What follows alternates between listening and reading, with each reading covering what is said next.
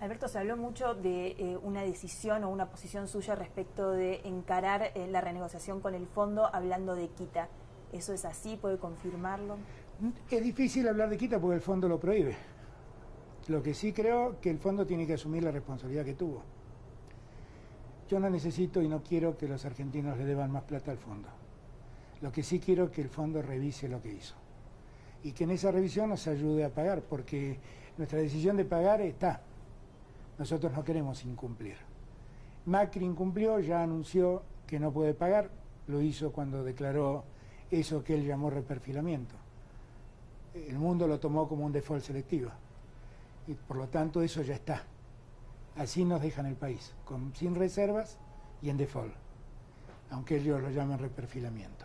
No se trata de conseguir una quita, se trata de lograr que eh, que nos den la posibilidad de volvernos de pie, volver a producir, volver a exportar y juntar los dólares necesarios para poder pagar. La transición ya comenzó. Eh, usted ha definido cuatro personas allí para que trabajen en eso. Eh, sin embargo, ahora el gobierno Mauricio Macri ha dicho que lo va a hacer por decreto. ¿Qué opinión tiene? La transición es una... es que todo ocurra en calma para mí. Y está ocurriendo en calma. Después ocurren acciones, ¿no? Acciones pícaras de algún pícaro que construye un informe económico absurdo que habla de las bondades que han hecho. Marcos Peña habla. Por ejemplo. Pero la verdad es que la gente sabe lo que pasa. Y ya a esta altura han mentido cuatro años, no, las últimas mentiras ya no pasan. Pero la verdad esto de reunir equipos, lo dije siempre yo, ¿eh? no es de ahora. ¿De qué vamos a hablar? ¿De qué me van a hablar? ¿De, ¿De qué interno tengo que marcar para llamar al subsecretario? ¿Qué me van a contar?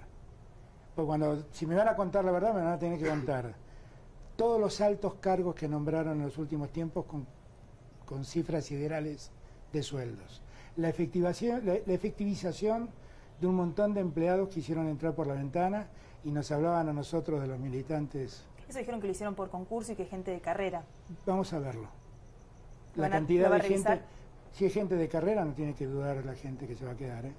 porque si hay algo que respeto es la carrera administrativa. ¿Pero va a revisar los nombramientos, estos últimos nombramientos cuando Y por supuesto, si todo, entró por la ventana, todos por la ventana. Pero eso, los que llevan años trabajando en la administración, que, que se queden tranquilos, que se queden tranquilos, porque no son ellos el problema.